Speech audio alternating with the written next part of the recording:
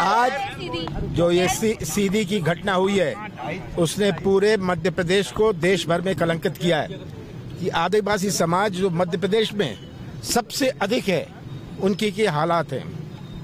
और आज ज़िले ज़िले से ये सूचना पिछले दो, तीन, चार, पाँच छः महीने में कहीं घसीट घसीट के, गाड़ी से बाँध बाँध के, इनको घसीटना, कहीं ज़िंदा गाड़ देना। मैं तो कहता हूँ, केवल 10 प्रतिशत ऐसी घटनाएँ सामने आती हैं। ये उजागर होती हैं। ये आज 18 साल बाद ये कानून व्यवस्था अपने प्रदेश में है। ये न्याय है हमारे आदिवासी भाइयों के साथ, हमारे कमज़ोर वर्ग, दलित समाज के साथ। ये आज पूरा प्रदेश देख रहा है।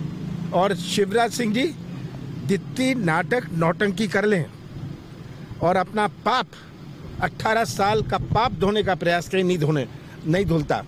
अगर उनकी सच्ची आत्मा होती, वो जो कैमरा बुला के वो नहीं दिखाते। उनको मतलब कैमरा से था।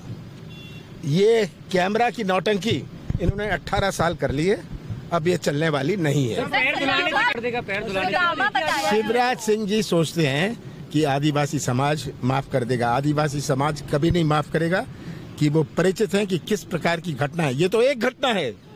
मैं तो कह रहा हूँ ये दस प्रतिशत ऐसी घटनाएँ सामने आती हैं।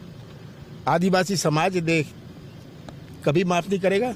ये जितने भी पैर धुलवा लें जितने भी कैमरा सामने लगवा दें। जिसकी आत्मा जिसका मन साफ़ होता है। वो ये कैमरा से नहीं करते। हम हम ये मामला उठाएँगे। उठाने की क्या आवश्यकता है? पूरा देश देख रहा है। ये तो राष्ट्रीय एक खबर बनी है। मुख्यमंत्री ने फ़ोन में बातचीत की मेरे पति को छोड़ दीजिए मुझे कोई लालच सरकार भी तो वहाँ जा सकती है प्रलोभन दे रही हैं।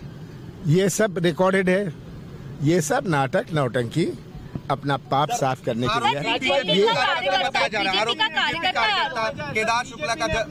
ये है बात साफ़ हो गई है कि आरोपी कौन है?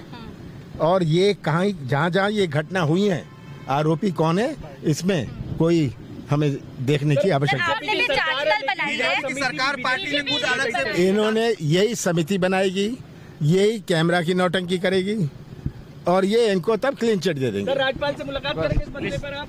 ये हमारी पार्टी तय करेगी। ठीक है धन्यवाद सर।